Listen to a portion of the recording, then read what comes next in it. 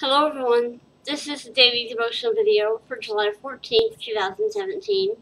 Our passage for today is in the book of Psalm, chapter 40, verses 1 through 3, which says, I waited patiently for the Lord, and he inclined to me and heard my cry. He also brought me up out of a horrible pit, out of the miry clay, and set my feet upon a rock, and established my steps. He has put a new song in my mouth. Praise to our God. Many will see it and fear, and will trust in the Lord. Title for today's devotional is The Outcome of Discouragement. Discouragement is a common problem.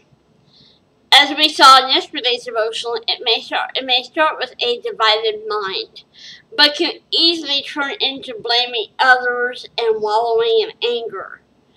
Sadly, its effects don't stop there. For one thing, if you regard the one who disappointed you as the cause of all your troubles, you might distance yourself or even end the relationship. On top of that, when disappointments are allowed to build up without resolution, your sense of self-worth could be damaged. This could deliver a blow to your ministry and interactions with others, since no one likes being around critical, negative individuals. A dangerous drift in your spiritual walk is the ultimate consequence of discouragement. God will seem distant, uncaring, or perhaps even absent because you built such high walls around yourself. Things that were once cornerstones in your life, like worship, Bible study, and prayer, easily fall by the wayside. Before long, you'll be surrounded only by your disappointments and negativity, unable to see anything of positive value at all.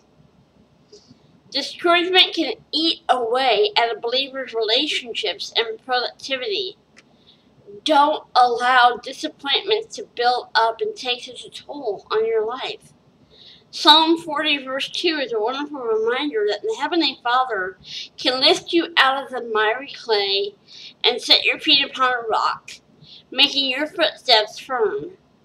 Let your discouragement motivate you to turn to the Lord the one who can put a new song in your mouth, a song of praise to Him.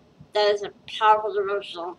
Discouragement can so easily lead to other things and cause a complete breakdown in your walk with God. It's so important to not let that stuff build up. You know, um, to seek resolution, seek forgiveness, and move on. It's so important to do that. I love you guys. Have a blessed day. I'll see you guys back here again tomorrow.